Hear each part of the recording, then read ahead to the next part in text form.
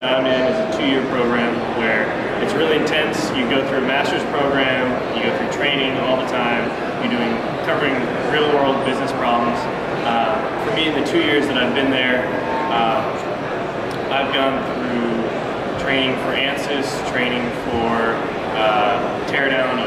big BOPs, H4 connectors. So the big stuff that you see, or you see small models down here. I mean, they're they're much larger out there. And, GE's invested a lot in me to understand the ins and outs, what problems could happen, what service what service actually goes through when they're doing their uh, yearly maintenance, or if something goes wrong, what they have to do.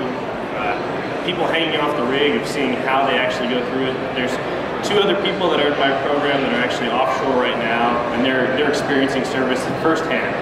Um, they've had to go through the training in order to be safe on the rig, and they're seeing exactly what people go through day to day in order to ma- maintain and keep and service uh, the products that we design. Because I mean, really, I mean, mechanical engineers out here designing is is great, and that's really what that's what I had a passion for when I first came in.